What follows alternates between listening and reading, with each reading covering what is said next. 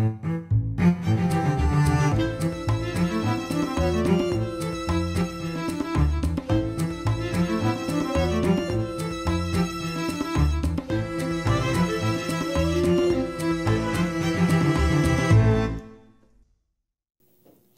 I'm Micah Halpern. Thank you for joining me today as I do some thinking out loud. Our first segment is called Background Briefing. The first thing I've been thinking about is there is a backstory, a story behind the story of Saudi Arabia's gathering of 34 countries to form a coalition to fight ISIS. The first item to note is that while 33 countries came to Riyadh, they were all Muslim, they were not all Arab. Next, we must pay attention to those who were not invited. Saudi Arabia chose to invite Lebanon and the Palestinian Authority. They did not invite Iran, Hamas, or Iraq. Pakistan saw that they were on the list, but they did not attend. And all this is a clue to the purpose and the vision of the Saudi inspired and Saudi led group. ISIS is the flavor of the month when it comes to a cause worth fighting now. In this case, it is also the cloak covering the raison d'etre behind Saudi Arabia's decision to form this group. The coalition was set up to hamper and destroy Iranian hegemony. The bonus is that in the process, it will also hurt not only ISIS, but also Syria's Assad, Russia, Hezbollah, Iraq, and the United States of America. It will also weaken and attack Shiite powers of all stripes and any Sunni force that is trying to unseat what the Saudis deem to be moderate Sunni Western friendly leaders. It's all part of a master plan that Saudi Arabia has created and now put into action. ISIS is where the plan begins. It ends after Saudi Arabia has reached its goal of hurting Iran, the Shiites, and those who help the Shiites. Saudi Arabia is not just looking for a little wince signifying pain. They are looking for a big ouch. The Saudis have given up on the United States. The final nail in the coffin of the United States and Saudi relations came when the United States signed the nuclear deal, thereby bringing Iran back into the community of nations and even permitting them nuclear status in 15 years. That was for the Saudis a massive insult and a deadly move. With that deal, the United States both empowered and emboldened the mortal enemy of Saudi Arabia and the United States did not even realize the ramifications of their actions. Saudi Arabia wants to hurt Russia because, like Iran, Russians are propping up President Bashar Assad of Syria. And Assad is an Alawite, and the Alawites are an offshoot of Shiite Islam. The balance in the region is slowly shifting, and Saudi Arabia is taking it back. Look what Saudi Arabia has already done. They're supporting Egyptian President Abdel Fattah al Sisi against the Muslim Brotherhood. And they have lured the Sudanese leader away from Iran. In severing ties with Iran, the Sudanese have eliminated an important Iranian weapons conduit and trade route, a route that they used to transfer much needed arms to Hamas in Gaza and the Assad friendly forces in Syria, as well as Hezbollah. The Saudis know better than to, milita- than to militarily tangle with the United States and Russia in Syria. They will steer clear of Russian and United States forces on the ground and in the air. Instead, the Saudis will hurt them where it hurts most in their pocketbook. At the last OPEC meeting in November, Saudi Arabia convinced everyone to keep oil production levels stable. They did it despite the free fall on the price of oil. Since June, oil has fallen 40%, and it's now about $35 a barrel. Saudi Arabia is the largest producer of oil in OPEC and they will not change their limit per day barrel export. OPEC members had hoped to decrease production and increase price. They had hoped to apply the simple supply and demand curve. You remember that from Econ 101. Saudi Arabia nixed it because when they last tried to manipulate the market, their economy took a nosedive, and it took the Saudi empire 20 years to recover. Speaking from experience, they argued their point and convinced OPEC members that staying the course allows them to plot the market more properly and accurately. The country that was most hurt by this play by Saudi Arabia was indeed Iran.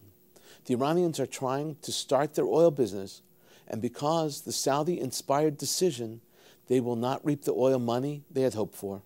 Iraq is also trying to gain. They're trying to gain more revenue, and they too need those funds. But Iraq has become a Shiite nation and has needlessly attacked Sunnis, and so the Saudi Arabians want to cause them pain and suffering.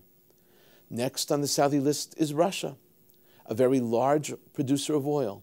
The Russians are an even larger producer of oil than Saudi Arabia and they really need the money because of sanctions placed against them after their Crimean land grab and the actions in Ukraine. Saudi Arabia wants to bring Russia to their knees. Although they were doing it inadvertently, the country that is most helping Saudi Arabia hurt the other oil producing countries is China. Demand for oil in China has dropped. They're using less oil and replacing it with more energy efficient systems and even alternative systems. But most importantly, as the Chinese economy has slowed down, so has their need for oil. And the United States is anything but unscathed by this action of the Saudi Arabians. The U.S. was bent on tapping into its own oil reserves, but private industry has either slowed, postponed, or in many cases completely scrapped their plans to produce oil and use U.S. oil. It's no longer worth the money. In the U.S., it costs between 50 to $70 to produce a barrel of oil. It costs Saudi Arabia $30 per barrel. The Saudis have begun to successfully remove competitors from the market itself. They have stopped the United States from entering the field. They are crippling their enemies, and they can withstand the drop in price, which they know will, of course, bounce back. This coalition of 34 is most certainly not simply about fighting ISIS. It's about Saudi Arabia taking up their position as a world leader It's about Saudi Arabia showing the United States and Russia, and most importantly, Iran, that they have taken the role of leader of the Muslim world and they are a serious force to contend with. Coming up, points of view. Here's what some important voices have been talking about. First up is a column posted on December 21st, 2015. This column comes from the Times of Israel. It's by Micha Odenheimer. The piece is called Burundi on the Brink. It's a Jewish issue. Micha Odenheimer is a journalist, rabbi, social entrepreneur who founded Tevel B'Tzedek, an Israeli organization doing development work and offering a Jewish platform for service, learning with impoverished and marginalized communities in the developing world. Micha has written for numerous publications from Ethiopia, Somalia, Iraq, Burma, Bangladesh, and Indonesia. Odenheimer's objective is to have a positive impact on the world and to make it a better place. He's a personal friend. I know him for many years. And for the many years that I have known him, he's actually made a difference. This is how he starts. Quote, Burundi is a small African country, just about the size of Israel, that's in danger of descending into a maelstrom of violence and murder. Hundreds have already been shot to death in the capital city of Bujumbura, over these past few months, many of them this past weekend. More than 200,000 refugees, 2% of the population, have fled to the country of Tanzania, Rwanda, and the Congo. Burundi has the same ethnic makeup as Rwanda, where in 1994, at least 800,000 Tutsis were killed over a 100 day period. From 1994 to 2006, when the Arusha Peace Agreement was finally signed, 300,000 Burundians, both Hutu and Tutsi, were massacred in successive convulsions of violence. As the peace agreement unravels, the specter of mass killings that has haunted this generation of Burundians as they have tried to rebuild their country is fast becoming a nightmarish reality. Odenheimer is laying out the parallel between the Rwandan genocide and today. He tells us it's the same group of people, the Tutsis, being murdered again by the Hutus. Now Odenheimer presents the challenge. He says we can learn from the past, from Rwanda. He does not raise the issue of the Holocaust, at least not yet. He writes, quote, and yet this descent into hatred and vengeance does not have to continue. Burundi 2015 is not Rwanda in 1994. It is not clear if the politically sparked bloodshed in Burundi will deteriorate into full fledged ethnic violence, but we can learn the lesson from Rwanda. And what we know now in terrible hindsight, is that a little determination on the part of the United States during those crucial hundred days could have saved hundreds of thousands of lives. Odenheimer is correct. A little effort on the part of the U.S. stopped the genocide. Imagine this could be done now too. This is how he puts it. Odenheimer says that what is happening in Burundi is a Jewish issue. Why? Because of the Holocaust. In Odenheimer's words, for Jews in the years after the Holocaust, the notion that the world would continue with business as usual while civilians were being slaughtered wholesale seemed intolerable.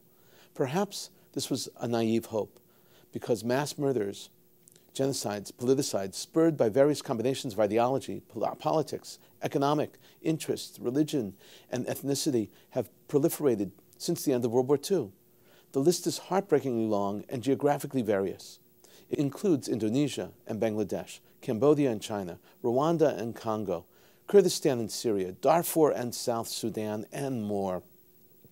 Odenheimer concludes and says that the Jews of the United States must act to save lives. They must because they have the power to save lives, as they have in the past. Odenheimer writes, and yet, on some of these occasions, for example, in Darfur, the concerted outcry of many, including Jewish leaders, did make a difference. In the case of Burundi, genocidal massacres have already taken place, sometimes Hutu on Tutsis, sometimes Tutsis on Hutus. 30,000 here, 10,000 there, across a 30 year period. We are forewarned.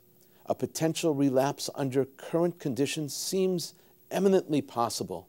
It behooves the United States Jewish community and its organizations to do everything in their power to make sure this relapse does not take place. Micha Odenheimer is correct, and the government and the organized Jewish community should step in they should step forward and enable a plan to stop the massacres. It's the right thing to do, it's the moral thing to do, it's the Jewish thing to do. Second up is a column from the JTA, the Jewish Telegraph Agency, now part of 70 Faces. The column is penned by Jerry Silverman, the president and CEO of the JFNA, the Jewish Federations of North America. JFNA is the umbrella for the Jewish Federations of North America. Silverman is the professional leader. This column takes a serious stand on a hot button issue Jewish unity. Imagine unity is a hot button issue. How? Well, the column is called Why I Take Personally Chief Rabbi's Criticism of Non Orthodox School Visit. It appeared on December 13, 2015, in JTA. A little background is in order in order to understand this. Education Minister from Israel, Naftali Bennett, was in the United States during Hanukkah, and he visited a Jewish day school, the Solomon Schechter School of Manhattan, which is affiliated with the conservative movement of Judaism. The visit was covered in the Israeli press, and Bennett was deeply touched by the educational environment and their love of Israel. Also, note that Bennett is also the Minister of Diaspora Affairs, an important point for this story. Israel's Ashkenazi chief rabbi, Rav David Lau, took Bennett to task and clearly said that going to that school embraced assimilation and values that will destroy Judaism and Israel. Jerry Silverman responded with this op ed. He begins by saying that one need not agree, but civil discourse is essential. Quote At the Jewish Federations of North America's General Assembly this year, it was made clear that a healthy Jewish community does not have to have unanimity on all issues, but we do need to be unified and, above all else, have civility in discourse. It was obvious this week that Israel's Ashkenazi chief rabbi David Lau missed the message.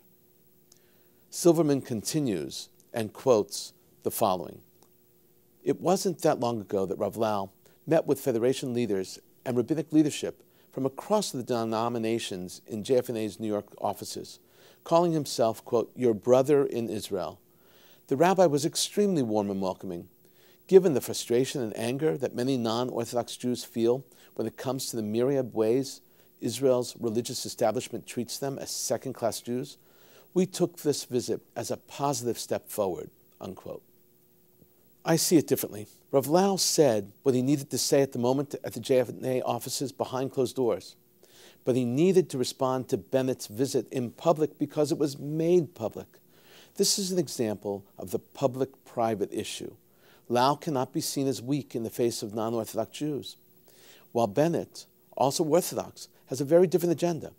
Bennett is interested in Klal Yisrael, the totality of Israel, not a limited sliver. Bennett sees Israel as the most unifying feature of the Jewish world. Subscribing to that philosophy makes you a player in his eyes.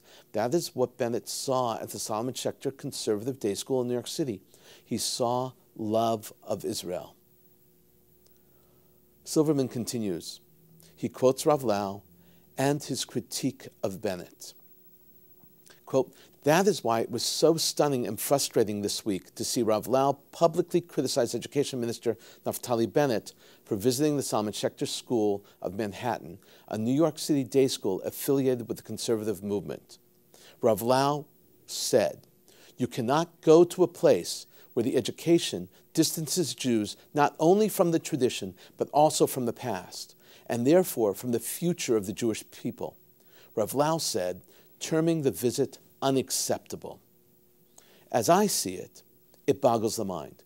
To see this kind of dispute in public, Rav Lau did not need to respond in public, but he did, and that caused even greater tensions between Israel and the Jewish community in the United States. Silverman writes, Bennett's interest in learning about Jewish education modalities was absolutely appropriate. And visiting a school that promotes Jewish education, Jewish learning, and Jewish living is in line with his ministerial responsibilities. We hope Israeli leaders follow his example of reaching out to all Jews wherever they are, including at religious schools, day schools, and camps affiliated with all Jewish streams. And here is how Silverman concludes. He says that leaders need to stop this critique of Jewish unity he writes, Rav Lau should follow suit. He would see, as Bennett tweeted after his visit to the school, so much love of Israel and so much love of Judaism, unquote. Finally, he writes, we are hopeful that these comments criticizing leaders who believe in Am Echad, one people, will end, and we will move toward unity and civility.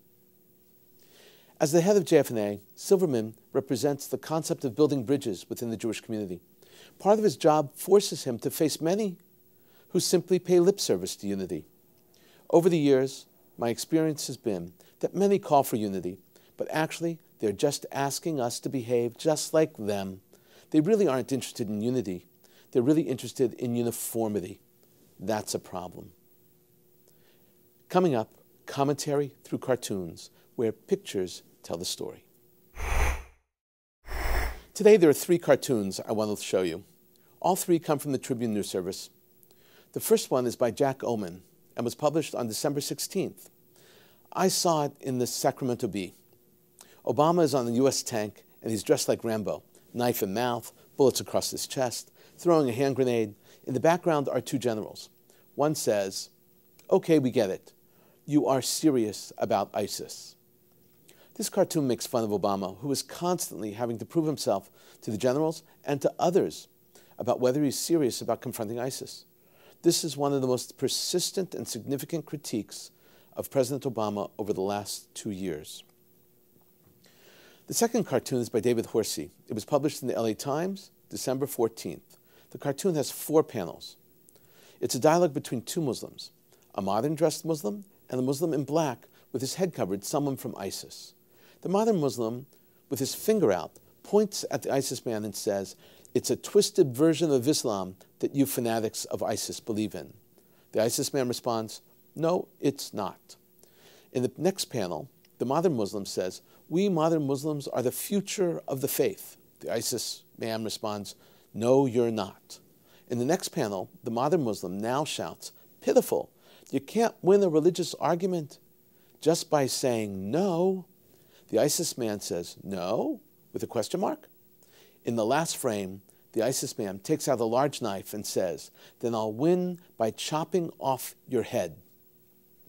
Horsey is stating the obvious, but the obvious can be extremely funny. ISIS does not need to win a theological argument. They have the power of intimidation, what we call the fear factor.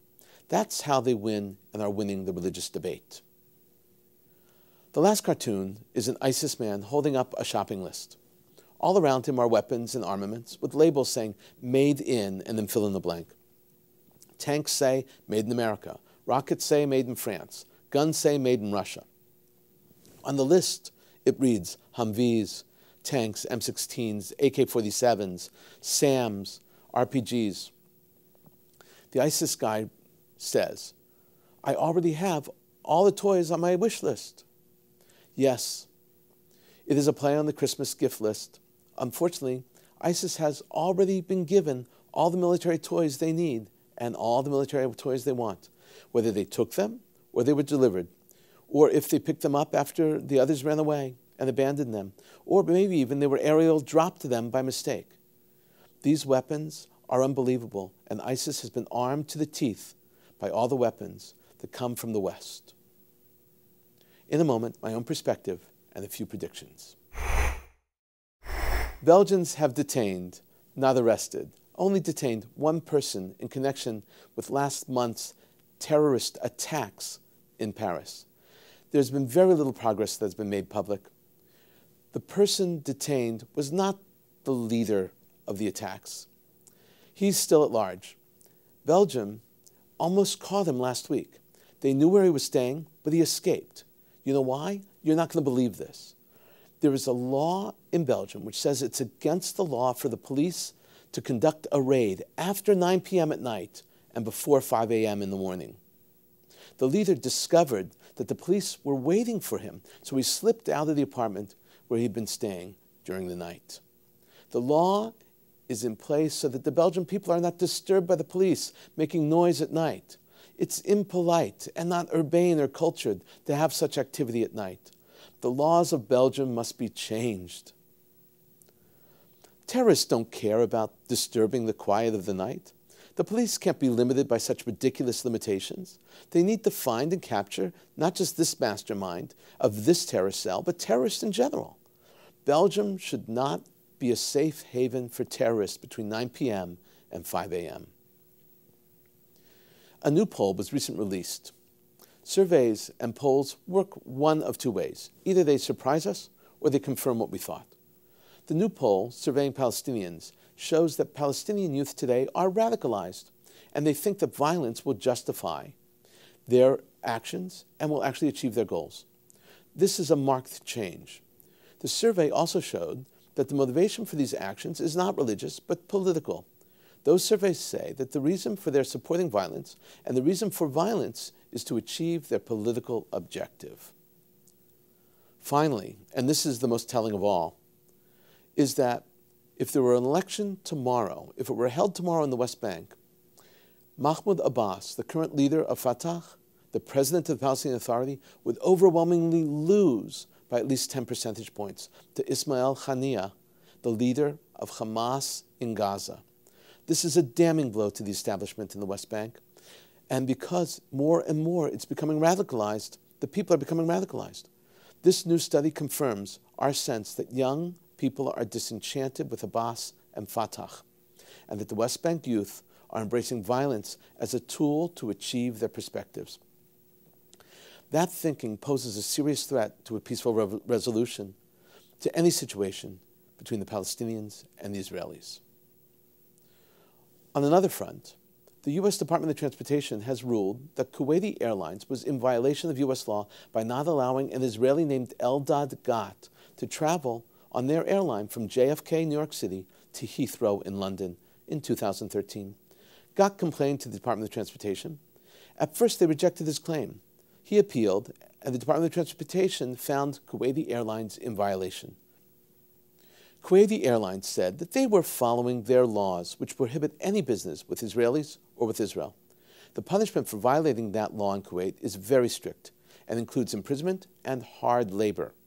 The Department of Transportation ruled that, quote, we consider Mr. Gat's claim upon an alternative ground, which holds that an air carrier or foreign air carrier may not subject a person, place, port, or type of traffic in foreign air transportation to unreasonable discrimination the Department of Transportation said that the Kuwaiti laws do not outweigh the U.S. law against discrimination, where the destination permits Israelis to take off and land.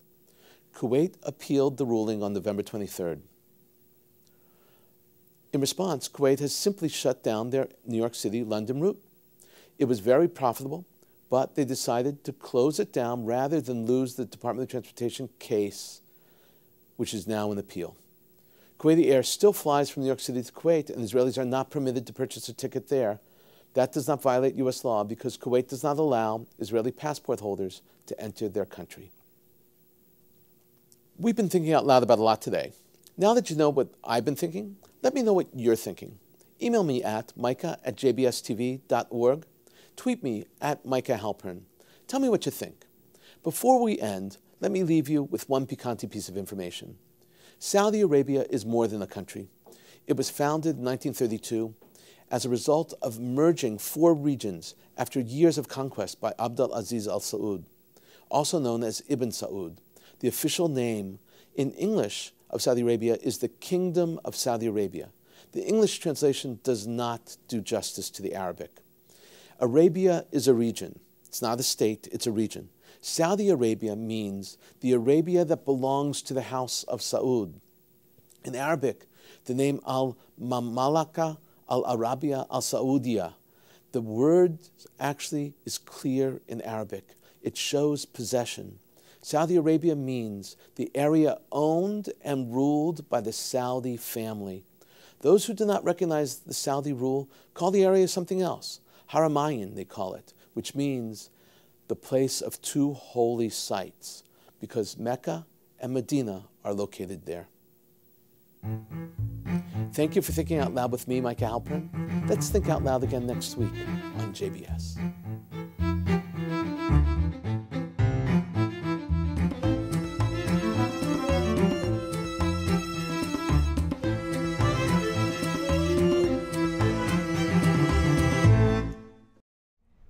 Be pleased to send a complimentary DVD of this program to anyone who wishes to support JBS, the Jewish Broadcasting Service, with a tax deductible gift of $36, double chai, or more, to the nonprofit organization Jewish Education in Media.